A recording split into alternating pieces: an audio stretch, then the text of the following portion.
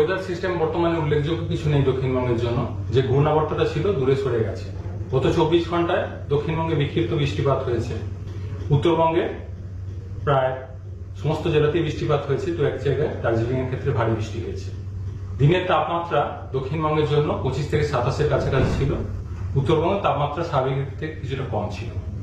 বাইশ তারিখে দক্ষিণবঙ্গে আবহাওয়ার উন্নতি হবে। দু এক জায়গায় হালকা বৃষ্টির সম্ভাবনা থাকছে, উপকূলের কাছাকাছি।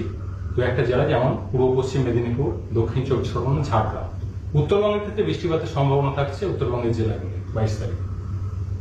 তেইশ তারিখে দক্ষিণবঙ্গে প্রধানত শুষ্ক ওয়েদার এবং উত্তরবঙ্গের জেলাগুলিতে বৃষ্টিপাত একটু বাড়বে তেইশ তারিখে, বিশেষ করে উত্তরের জেলাগুলিতে। দু এক জায়গায় বজ্রবিদ্যুতের সম্ভাবনা থাকছে। চব্বিশ তারিখে লোকালাইজড অ্যাক্টিভিটির জন্য দু একটা জেলায়, যেমন পূর্ব বর্ধমান, হুগলি, নদিয়া, উত্তর চব্বিশ পরগনা, এই জেলাগুলো দু এক জায়গায় হালকা বৃষ্টির সম্ভাবনা আর উত্তরবঙ্গের উত্তরের জেলাগুলো বিক্ষিপ্ত বৃষ্টির সম্ভাবনা। পঁচিশ তারিখে কিছুটা সম্ভাবনা থাকছে বৃষ্টিপাতের, বীরভূম, মুর্শিদাবাদ, নদিয়া এই জেলাগুলো। পঁচিশ তারিখে উত্তরবঙ্গের জেলাগুলিতেও বৃষ্টিপাতের সম্ভাবনা থাকছে।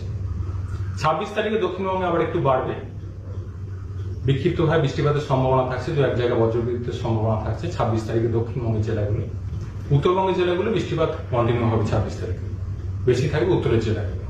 সাতাশ তারিখে দুই একটা জেলায় পশ্চিম বর্ধমান, বীরভূম, মুর্শিদাবাদ, নদিয়া এই জেলাগুলি বৃষ্টিপাতের সম্ভাবনা। উত্তরবঙ্গের জেলাগুলো সাতাশ আঠাশ তারিখে বৃষ্টিপাত কন্টিনিউ থাকবে। প্রধানত বিক্ষিপ্ত হবে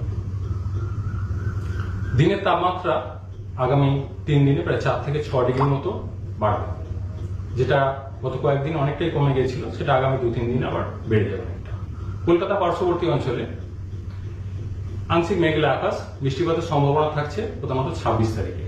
আগামী চব্বিশ ঘন্টায় সর্বোচ্চ তাপমাত্রা উনত্রিশের কাছাকাছি, সর্বনিম্ন একুশ ডিগ্রির কাছাকাছি। পরবর্তী কয়েকদিন তাপমাত্রা বত্রিশ থেকে তেত্রিশ ডিগ্রির কাছাকাছি সর্বোচ্চ পৌঁছে যাবে।